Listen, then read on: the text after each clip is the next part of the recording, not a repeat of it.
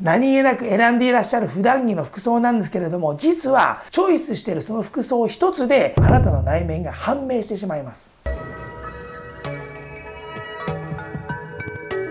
皆さん、こんにちは。かんちゃん住職です。皆様は普段ね、どんなファッションなさっておられますでしょうかね。まあ、私はもっぱらね、こういったあの、お坊さんの着物とか、あるいはサムエなどを身につけておりますけれども、まあ、そうは言ってもね、意外と昔からね、まあ、この服をいろいろと着回すのが好きな方で、ファッションにはこだわってきた方だと思うんですけれども、まあ、未だにね、いろんなジャンルの服を持っております。その時々の TPO に合わせて、服の着回しを楽しんでいたりもいたします。実はね、そんなファッションには、なりたい自分や、こんな風に思われたいという心理が反映されておりましてね、その服装から性格や心理状態がわかるとまで言われております。そういう意味では気になるあの人の性格はもちろんのこと、自分自身ではね、自分のことはよくわからないその性格もね、しっかりと判明させることができるということでございます。自分の本当の性格はどんなものか気になりませんか？そこで今回はね、普段の服装でわかる性格診断というテーマでお話しさせていただきたいと思います。これであの人の性格も丸わかりです。よかったらチャンネル登録、登録もよろしくお願いいたします。また、コメント欄や公式 LINE のメッセージをお待ち申し上げておりますね。それでは行ってみましょ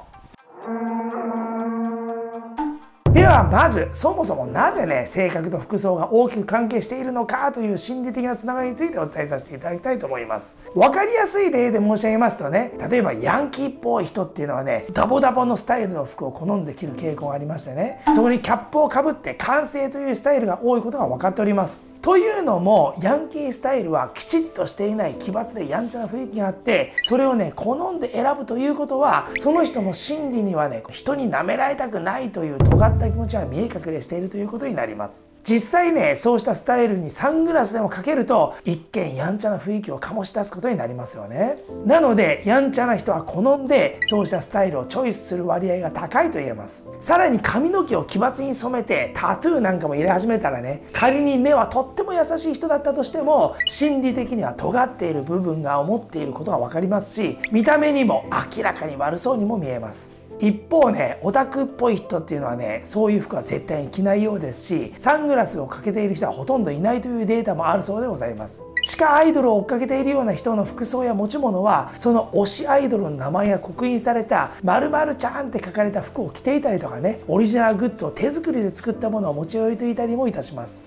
一般的にオオタクっぽい人でね多い服装のイメージはシャツをねこのケミカルウォッシュのジーンズにインしていたりとかねあるいはメガネをかけている人の割合も多いようでございます。確かにそうしたイメージありますよね。ただねファッションは数十年前に流行ったスタイルがあえて今復活していることもありましてね一昔前まではケミカルウォッシュなどのズボンにネルシャツをインしてメガネをかけているのがオタクの代名詞でもあったと思うんですけれども近年ではそのオタクファッションが再ブームになったりしてましてね一概にオタクスタイルというふうに言えなくなった雰囲気もございます。またね女性に限定して申しますとアニメ好きな人はロリータっぽい服を着る人も多いんですけれども例えばこのバリバリ仕事ができるキャリアウーマンの人はピシッとスーツ姿とかねナチュラルクールな服装でプライベートを過ごされている方が多いと思います。また仕事のできる社長さんはピシッとしたねこの服を着こなしておりますしそういう人はねこのダボダボしたような服はねきっと着ないのではないかと思います。そしてねバリバリ仕事を取ってくるような営業マンの方もピシッとした服を着ている割合が非常に高いですしヨレッとしたスーツを着ている人はきっと少ないと思います。例えばねプライベートなんかでこの顧客とねばったり遭遇したことを考えますとやはりある程度ピシッとしておきたいでしょうし、まあ、そうでなければイメージダウンをして信用問題にまで発展してしまう危険性がありますもんね。それにイケメンの人とか美人に服のセンスが悪い人も少ないように思います。これはイケメンとかね美人だから何を着ても似合ってしまうという説もあるんですけれどもあえてね判別するとすれば一般的にねそのようなイメージが強いんではないかなと言えると思います。ちなみに私自身はねこのカジュアルからフォーマルまで個性的なスタイルが好きなんですけれども TPO を全く気にしなくてもよければ一番好きな服装はねタンクトップかもしくはね上半身裸に短パンでそしてサングラスにねサンダルというスタイルがね一番しっくりきます。まあそういう話はねちょっと置いときまして人の性格やね考え方というのはその服装にはっきり現れるということになりそうです。ということでここからはいよいよね6種類のファッションスタイルを取り上げまして各種性格について診断していこうと思います。何気なく選んでいらっしゃる普段着の服装なんですけれども実はチョイスしているその服装一つであなたの内面が判明してしまいます。ファッション性格診断6選。1つ目はナチュラルファッションタイプ。派手な色や柄物よりもね、ベージュとかオフホワイトといった落ち着いた色味がお好きで、シンプルでゆるっとしたデザインの服がお好みといった傾向がございます。ナチュラル系ファッションがお好きな方っていうのは、ふんわりしたね、この優しい雰囲気を持ちますけれども、でも実際は自己主張の強い人が多い傾向にございます。ナチュラルファッションタイプの性格的特徴は、実は強い意志やこだわりを持っているという性格です。恋愛に関してはねこの振り回されず主導権を握るタイプですそんな人と相性の良いお相手の性格は自分の話をよく聞いてくれる人との相性が良いということになりますよ。ファッション性格診断6選。2つ目はカジュアルファッションタイプ。ちょっとボーイッシュな雰囲気の服が好きでね、デニムにスカートが定番で、柄物はね、ボーダーをね、選ぶことが多いといった傾向がございます。一般的にカジュアルなファッションがお好きな方っていうのはね、爽やか系で親しみやすい雰囲気を持っておりますけれども、でも実際はね、みんなから好かれたい願望が強い人が多い傾向にあるようでございます。このタイプの人の性格的特徴というのは寂しがり屋な性格です恋愛に関してなんですけれどもこのタイプの人にとっての恋愛は何よりの最優先事項としている恋愛体質の方でもございます。そのような人と相性の合う性格の人はあなたに好意を示してくれるお相手ならお互いに引き合って良いお付き合いができるものと思います。ファッション性格診断6選。3つ目はクールファッションタイプ。色物よりもモノトーンがお好きでモード系のかっこいい印象の服を好んで着る傾向があると言えます。クールなファッションがお好きな方っていうのはねこの旗目から見てキリッとしたね大人な印象を持たれますけれどもでも実はね頼られたい願望がありますのでか弱い人が多いのも特徴的だそうでございます。こうしたタイプの性格的特徴は傷つきやすく繊細な性格と言えます。また恋愛に関しましては頼り頼られるお互いに信頼し合える関係を望まれることでしょう。この人と相性のいいお相手の性格というのは自分のことを全く疑うことなく自分の全てを信じてくれるお相手と言えます。ファッション性格診断6選4つ目はきれいめファッションタイプ。華やかで清楚なイメージの服を好まれたりとか原色よりも淡い色とかね感触を選びがちだといった傾向があるようでございます。きれいめのファッションが好きな女性は女性らしくありたい周囲から可愛らしいと思われたいという感性をお持ちでしょうし男性であれば清潔感があってきちんとした人に思われたいと願っている人が多いと思います。こうしたきれいめファッションタイプの性格的特徴はサバサバとした性格と言えますよ。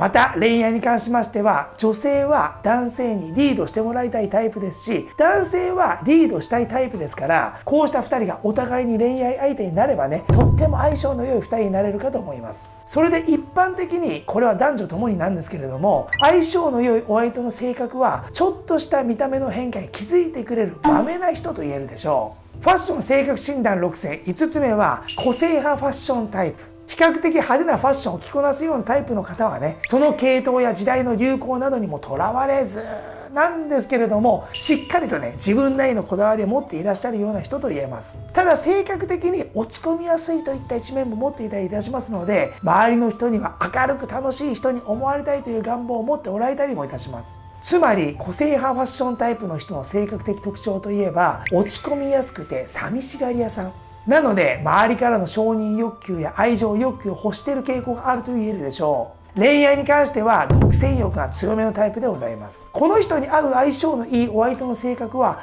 明るくて活発な人です。ファッション性格診断6選。6つ目はトレンドファッションタイプ。流行に敏感でその時に流行しているものを中心にファッションを考える人でございますから流行りものには詳しくてねこだわりが強い人と言えます。とはいえ過ぎ去ってね時代遅れなものには目もくれないタイプという意味ではある意味こだわりのない人とも言えそうですよね。今流行ってるねファッションを追いかけていく人は、まあ、どちらかといえばね自己主張が苦手なタイプですから周りの流行に乗っかって一緒に同調していることで安心感を覚える傾向にある人が多いと言えるでしょう。流行を追いかけるトレンドファッションタイプの性格的特徴は不安を感じやすくて傷つきやすい人というふうに言えます。恋愛関係においては女性ならね彼氏にべったり依存してしまうタイプと言えます。男性なら依存してくる女性がいれば自分の好みかどうかは別としてねその女性に合わせて一緒に依存体質に染まっていくタイプでもあります。そんな依存タイプの人と相性の良いお相手の性格はといえばねやはり自分の意見に同調してくれるお相手でもあります。ただ依存関係にある2人は相性はいいでしょうけれども長くね恋愛を続けていくタイプでもございません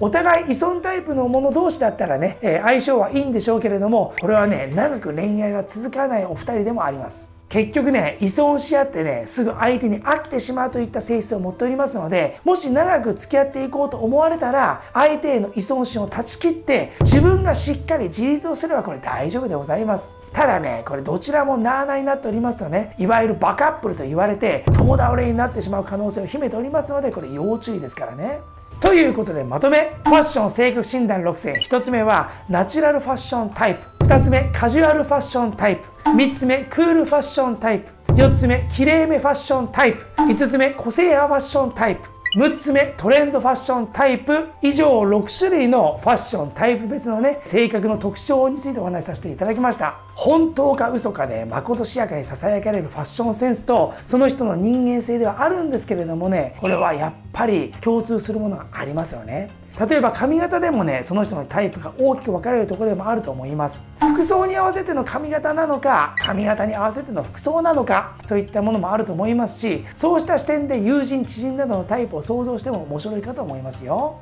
それとね靴もね性格が出ますので単純にね綺麗に履いているのか擦り傷だらけで穴が開きそうだねそういった靴をいつまでも履いているのかみたいなことでもその人の性格が透けて見えてまいりますのでなるべくね綺麗な靴を履くように心がけていただければまさにね足元を見られないで済むこともあろうかと思います。靴の綺麗さで大雑把な人なのかまめな人なのかが分かりますのでね自分の弱点につけ込まれないように意識を置くようにいたしましょうね。ファッションスタイルによってその人の性格がある程度予測できてしまいますので今回ご紹介させていただいたポイントや性格的なタイプをね、え再度振り返りつつご自分の服装にこだわってみられてもよろしいかもですよね。はいということでね今回の話が参考になったよと思えたそこのあなたいいねチャンネル登録、グッドボタンもよろしくお願いいたします。またコメント欄へね公式 LINE のメッセージをお待ち申し上げておりますね。それではまた伺う動画でお目にかかりましょう。かんちゃん住職でした。